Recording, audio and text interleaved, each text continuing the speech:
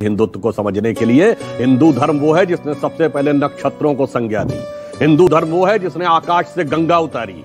हिंदू वो था जिसने सागर के ऊपर सेतु बनाया। हिंदू वो था जिसने दुनिया में हर व्यक्ति को अंधकार के उस भंवर से निकाला, जिसे मैं नहीं कह रहा हूँ। जर्मनी के विद्वान आर्थर शोपनहावर ने कहा, यदि विश्व का सर्वाधिक विकसित मस्तिष्क देखना है तो भारतीय आकाश के नीचे आना पड़ेगा, उपनिषदों को पढ़ना पड़ेगा। और वो वो है जिसने एकमात्र यदि से रिलीजन माने, जिसमें कन्वर्जन का कॉन्सेप्ट ही नहीं है। जो कहता ही नहीं कि दुनिया को जीतो, वो कहता अपने को जीतो। इतना महान और विराट हिंदुत्व, उसके बारे में जब इस प्रकार की बातें कही जाती हैं, मैं एक पंक्ति में कहकर ही ज़्यादा समय नहीं लेते हुए कहूँगा, अटल जी ने एक बार याद दिलाया था कि हिंदुत्व क्या है और हिंदुत्व का परिचय क्या है। उन्होंने कहा था, मैं अखिल विश्व का गुरु महान, देता विद्या का अमर दान मैंने दिखलाया मुक्ति मार्ग मैंने